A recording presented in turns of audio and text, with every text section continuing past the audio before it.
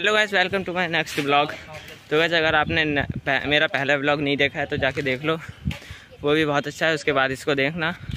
तो गाइस हमने एक चीज़ बनाई थी एक साल पहले। तो उसी चीज़ को आज आपको भी दिखाएँगे। बहुत मस्त चीज़ है। और दिखाते हैं अभी आपको थोड़ी देर में। और पहले बता दूँ कि किस किसने बनाई थी। मैंने बनाई थी सबसे पहले। और फिर उसके बाद फिर ये भी आए। ये बैठे हैं। ये आए। तो और वो बैठा है। हम तीनों ने मिलके उस चीज़ को बनाया था। तो चलिए आपको सीधे वही दिखाते हैं। बहुत मस्त है। पर अभी वहाँ पे गंदगी हो रही है थोड़ी बहुत। गंदगी तो नहीं घास वास सूख गई है तो उसको साफ़ करेंगे, उसको फिर से पूरा सही से बनाएँगे। तो आपको दिखाते हैं वो क्या है। चलो।